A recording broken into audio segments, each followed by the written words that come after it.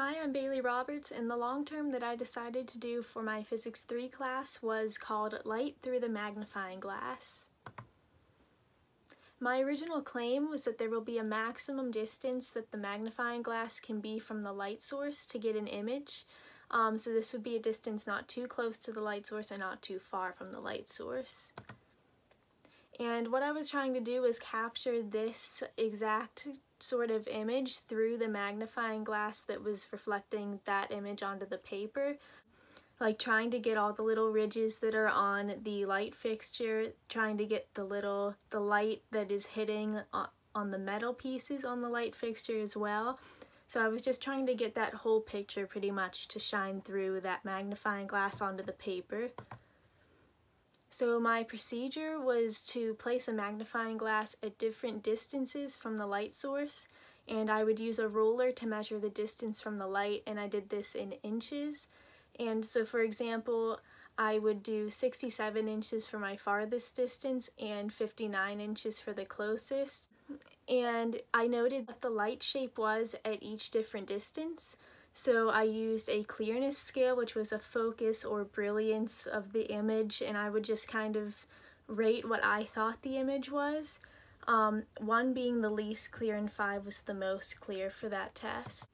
So the supplies that I used, I used a magnifying glass throughout this entire experiment. This the same magnifying glass I used from beginning to end. I used that ruler that I have sitting there and I used my light fixture of course which was my ceiling fan. And so this is what I was doing. I used my magnifying glass and I just held it up there and I would just look at the image that was reflecting onto the paper and I tried to um, like judge what I thought the clearness of that image was. So what I saw at 62 inches was the, like I could actually see the light fixture shining through so I could see the metal pieces shining through onto that paper and I also saw the light shape shining through which was what I wanted to capture. So 62 inches was the best distance for clearness and that was at the midpoint and 59 inches and 67 inches both weren't that successful in this. But at 67 and 59 inches I saw fuzzy circles so the images just weren't focused whatsoever. And at 65 inches and 61 inches I saw circles with fuzz around them so I'm pretty sure this would have been just the actual light itself and then the fixture, um, like the glass part with the ridges on it, that was probably the fuzzy part. And at the mid distance, that was the clearest and that was at 62 inches.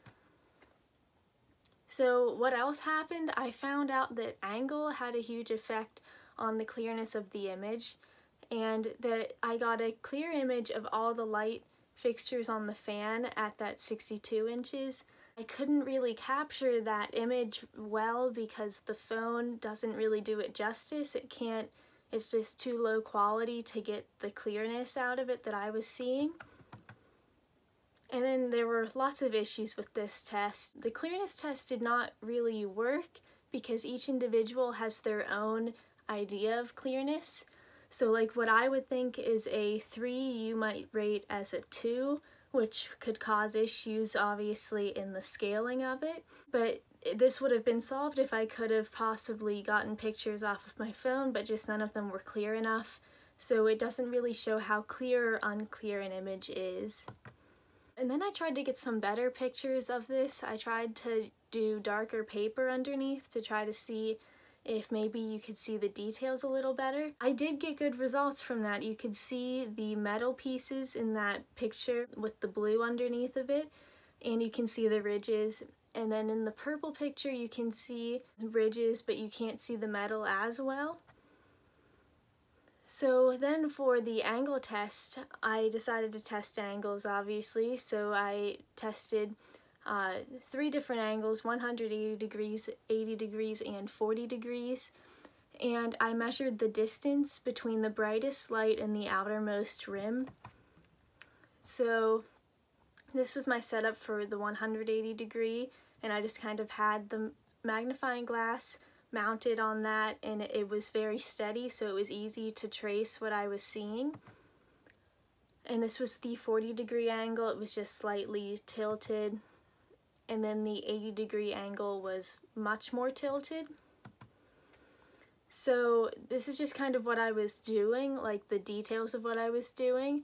And you can see that I was tracing in this picture of what I was seeing through the magnifying glass. And also, I was doing that distance part between the brightest light and the outermost rim. So the brightest part would have been where the light was most centered and the uh, outermost rim was just where the light stopped, like where it started to fade and then stopped. And I just kind of did the left side, the right side, up and then down. The new issue was that how do I display these results because you can't really put them into a graph or a chart because it doesn't show the pattern that like I needed to see for the actual experiment.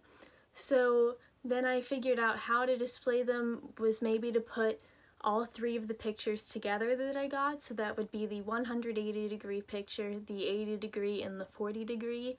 And I would operationally define 180 degrees as the standard or normal image.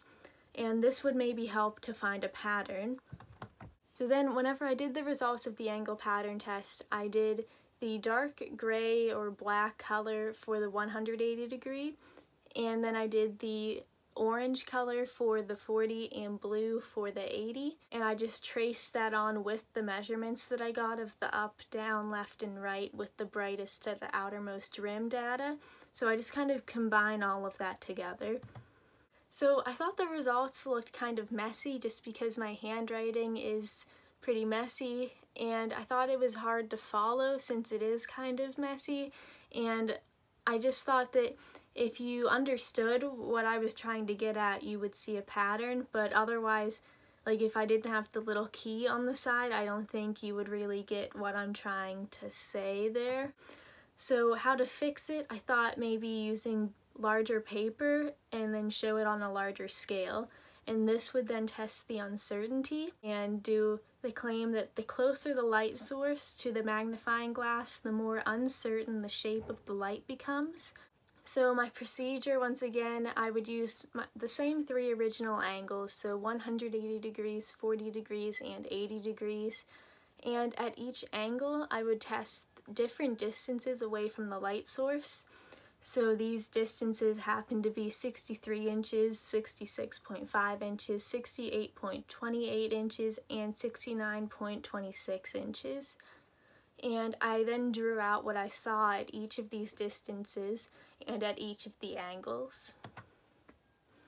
So this was kind of the setup that I had going on. I had the large paper and that same setup that I did for the angle test so that everything is very steady so that it's easy to trace what I'm seeing. So you can see that I was tracing the light and I was getting the distances that I was at too and I was also measuring still like how I was in the last test.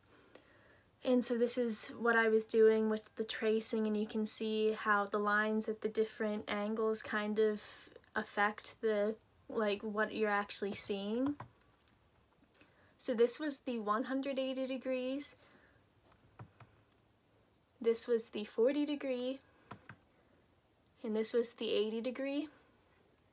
And at the farthest distance away with the 80 degree angle, um, very odd shapes started to pop up. So this was a shape that I thought had like kind of a ghosting effect on the end. And the same occurred at this distance and this was right above the farthest the farthest distance away with the 80 degree angle. This had the same effect, that ghosting effect, and you can see the brightest part and then the outermost rim is all ghosting effect. You can see that there's a little reflection also occurring. You can see that the ridges are showing up too in a couple of those pictures too, so I thought that was also interesting. So my results explained, uh, there were some unfamiliar shapes for sure at the 80 degree angle, and this shows our uncertainty of the shape of the light. And the light appears as a defined shape at the mid distance away, so for this case it was 66.5 inches and the actual light fixture details showed up in this image like before and the angles added a ghosting effect to the light. So my overall conclusion, I thought it was very challenging to display the results throughout, and that the light through the magnifying glass adds odd effects, and some of these effects um, can come from the angle of the of the magnifying glass and at the different distances that you use from the light source. And the farther the light source, the more certain we are about the shape. But this is only until a certain point because once you surpass this point, you become uncertain once again. Thank you. Any questions?